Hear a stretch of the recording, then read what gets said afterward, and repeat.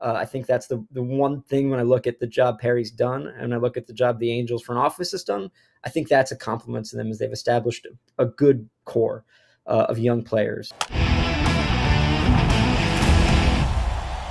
I'll say it because he's humble. Sam Blum from The Athletic covers the Angels, among other things, but the Angels is his go to every day during the season. He's a star. Read what he's got. And this is exactly why The Athletic exists too for written content because he covers what, in my mind, is one of the most fascinating organizations in sports for a long time now. So, Sam, with that, great to have you on. Well, happy off season to you. Let's get ready to rumble here. Jorge Soler is now an Angel. Griffin Canning over to the Braves. Let's just get your first big picture thoughts, and then we'll follow up. Well, I appreciate those nice words, and thanks for having me. Yeah, I mean, I, think it's really tough to assess this type of trade, and, and I, I wrote about this. The reason I say that is the the Angels don't really know what their operating budget's going to be because when when you ask Perry, uh, as we did yesterday you know what what's the payroll going to look like? I mean they've talked about increasing it in this move just on its you know on its face. I mean you're adding at least 8 million dollars to next year's payroll and then 13 million the year after because griffin canning was due about 5 million in arbitration. Um, to me it's it's if that's like your big move if this is the big addition you're making I, I, don't like it. I don't think it gets you from a 63 win team to anywhere close to a to a playoff team. Um, you know, if you look at Jorge Soler, he's one of the worst defensive outfielders in baseball, and the Angels have said they, they plan to use him to some extent in the outfield. And, and, you know, there's been a lot of talk about Mike Trout maybe becoming more, you know, utilized as a designated hitter, and this could block that to some extent. Um, now, I think what they'll do with Mike Moore is use him in the corner outfield at sometimes and center field sometimes, and then sometimes DH. And so it, it's not a, you know, necessarily an either or scenario, but you know, the, the, this trade, I guess, in theory, will make them a better team than they were, but uh, I, I, don't think it's uh, anything significant, and and I think you're possibly risking, you know, hindering yourself later in the offseason if if your budget is not going to go up significantly, if you're not going to go up to your 2023 levels of spending when they were, you know, near the luxury tax threshold. I think that if this is just a you know, one of your biggest moves. Uh, you know, this team was horrible last year, right? That's the reality of the situation. 63 and 99 is horrible. So, uh, if you're not going to get if you're not going to get significantly better, then um, I don't really know what this does for you. Does this move, and I know not one move is based on one comment, but go back to Ron Washington's comment about having no big leaguers on this team or not having people who are big league ready on this team. He then walked that comment back and you know he was in the heat of the moment and everything. But did it feel like this was just like, hey, there's a big leaguer available? We're going to go get him and or was this or is this something that was like you know maybe maybe alex anthopoulos had pictures of perry minasian when they worked together. So some type of like some type of blackmail that he just took on the entire contract. I mean i think it's i mean look what happened 12 hours before this trade happened right? Their their best player that they let walk for nothing was hoisting the world series trophy. Um, so I think that this is the way. If you look at the Angels, the way they operate, this is this is it. It's not usually with a plan. It's usually with reactions. It's with, you know, public discourse at times. I think that's part of it. I mean, I'm, I'm not saying. I think that I think that Perry, you know, and, and if you know, Artie's done interviews. You know, he's not done an interview with me, but he's done interviews this offseason.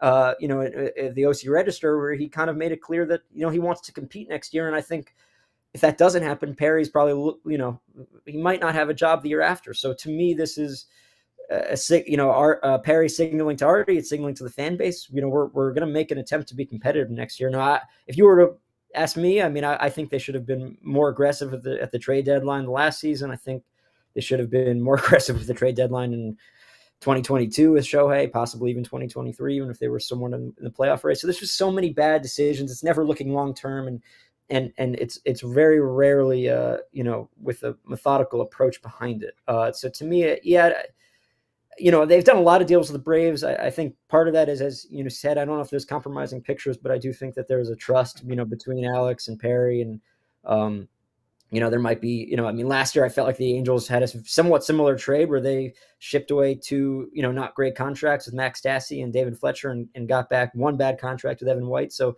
you know, there's probably some mutual benefit, you know, mutually beneficial deals that these guys have, have made or they trust each other to some extent. So there's probably a lot of factors that go into it. But um, I think the biggest one is Shohei Ohtani won the World Series the night before. And they want to show to their fan base that they're trying to win next year, even if there's not really a great plan behind it. Yeah, talking about the plan, there's a you know you look at their prospects and you see a guy like uh, Caden Dana and um, Christian Moore. Those are two guys that are really good, outstanding players. Are they untouchable right now, or do you think all is on the table? I think the untouchable players that they have right now are the ones that are in the big leagues. Um, I think like Zach Neto, Logan O'Hoppe, Ben Joyce, Jose Soriano. Those are really good young players. Uh, those those guys, I, I, think all of those guys can be all star players even as soon as next year. I mean, you know, now will they all be will they all be healthy? I mean, these are all questions that you know are important to you know finding some semblance of success. Uh, I think that's the the one thing when I look at the job Perry's done and I look at the job the Angels front office has done. I think that's a compliment to them as they've established a good core uh, of young players. And and you mentioned you know Caden Dana. Christian Moore, those are guys that, in my opinion, are could be a big part of it um, if they, you know, are able to do the right things around them and, and build a, a, competent roster. Uh, that you know, they at some point down the road, if they make the right decisions, that's why I really felt like you need to be aggressive for the trade deadline. I, I look at those young players and and I see the opportunity for you know uh, an ability to actually compete if you can build a team and, and that's what you need to build a team is you need to be aggressive. You need to be able to sacrifice full seasons to some extent at times if you're not going to spend like a, a, uh, dodgers or phillies or you know uh, yankees and mets teams like those. Um, so are those teams are those guys untouchable? I do not think they are. Uh, i think that they are you know if you're the angels are going to have to be aggressive on the trade market if they want to be competitive next year. And so those guys you know Caden Dana who may be more effective um, you know, as a starting pitcher in, in two years as opposed to next year. If you if you need to win this year, that, that he might be someone that, that you look to trade. Same with Christian Moore. Um, now, I don't think they're actively like trying to trade them, but I, I, think that if the right deal comes along, those guys would be more, um, you know, on the table. I'm, I'm not saying for sure, but you know, it's I think it's possible. What do you think the organization is seeing that I'm not, and most other people in baseball are not. Jorge Soler might be the worst defensive outfielder in baseball. And when you are the worst defensive outfielder in baseball and you're a great bat, then you're a DH only at this point in life. I think the Braves situation was unique because they had to try and find offense in any way. And they're like, well, let's let's just plug it in there. And I heard Anthopoulos talk last year about how they thought maybe he's not as bad as he's looked. I think they saw he was as bad as he looked with Atlanta. I saw him play most of the games out there. So I think it's a mistake to put him in the outfield ever again in his career. He's a DH. That's a big outfield in Anaheim, too. So hopefully it's not going to be at home. And the Mike Trout factor, like you said, we don't know exactly what it's going to look like, but when he does play, if he looks even like he did last April, he's still an elite bat.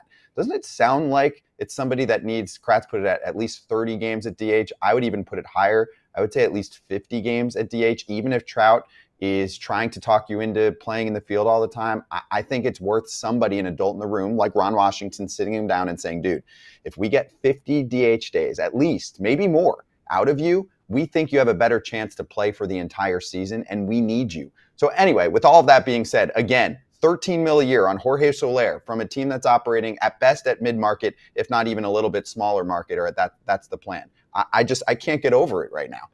Yeah, I think I don't think you're like wrong at all. I mean, uh, to me, it's it's surprising, and and you know, it's the extent that I, you know, I don't know how much they're planning to use him in the outfield, but you're right. I mean, his numbers are. I think he's got like negative 65 defensive runs saved over his career as an outfielder. So he's he's a really bad outfielder.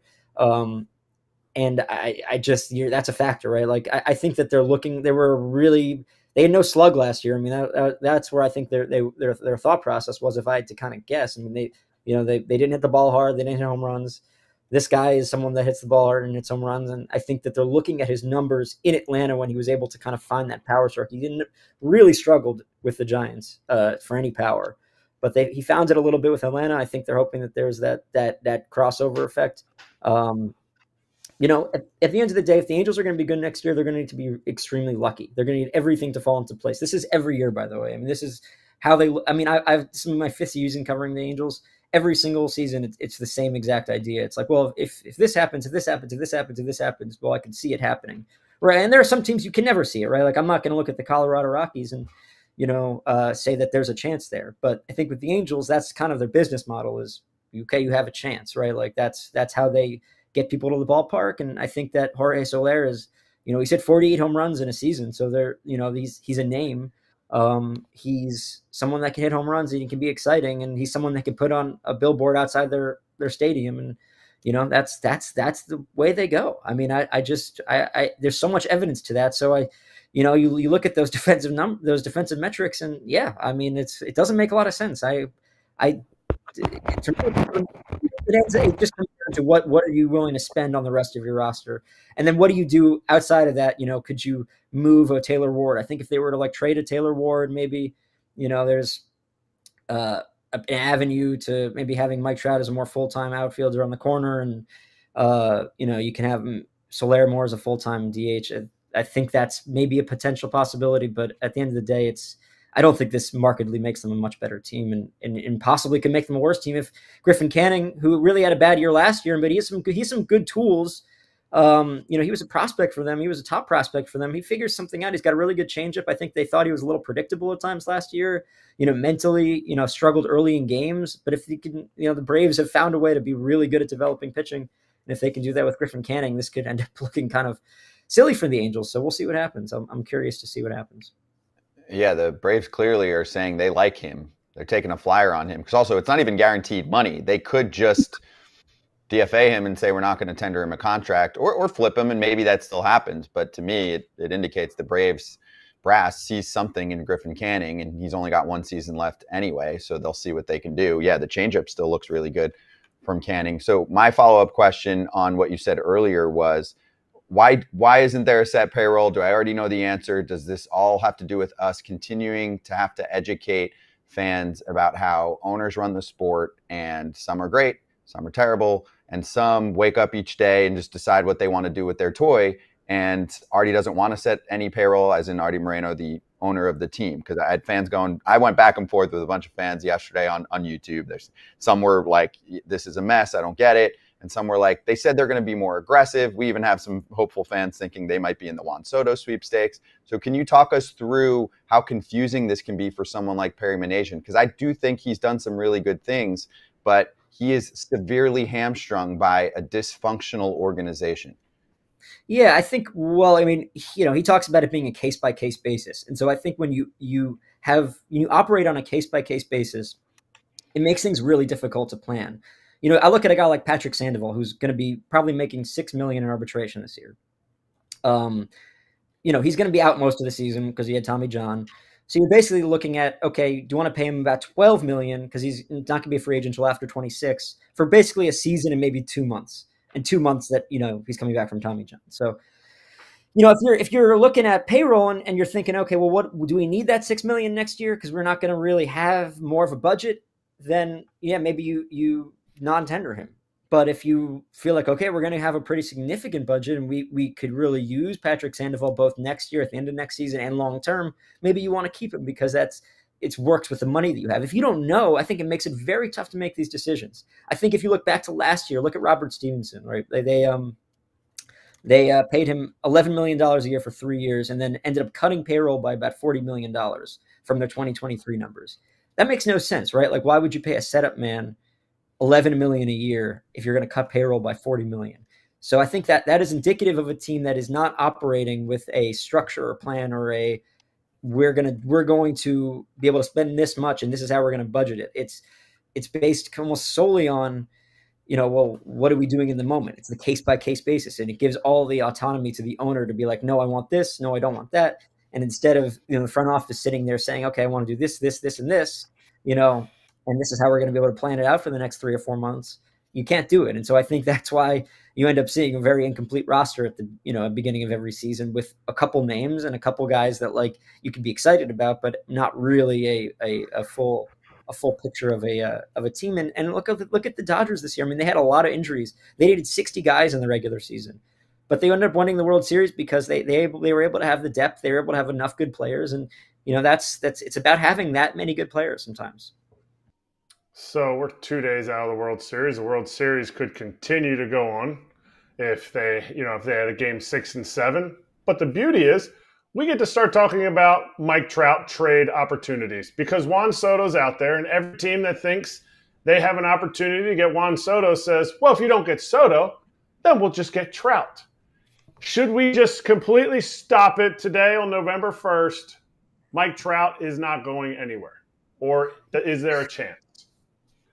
I mean, I just don't. I don't know who would take on the contract at this point. I mean, he's just not playing. So I think that you know he's a good player who who they're hoping will have a, a bounce back year. But I, I wouldn't see him going anywhere, and I don't think they're going to get Juan Soto either. Excuse me, I'm, I've been a little sick. No, I, I don't think. I don't. I don't see them getting either of those guys. I don't see them trading Trout, and I certainly don't see them. Uh, I apologize. No, you're good. You're oh. good. We can take No, over. that's Take a not- sec. hey, It Take happens sec. to me all the time, bro. Don't even worry about Todd Yeah, it. Father, you, yeah, you That's know it. Todd.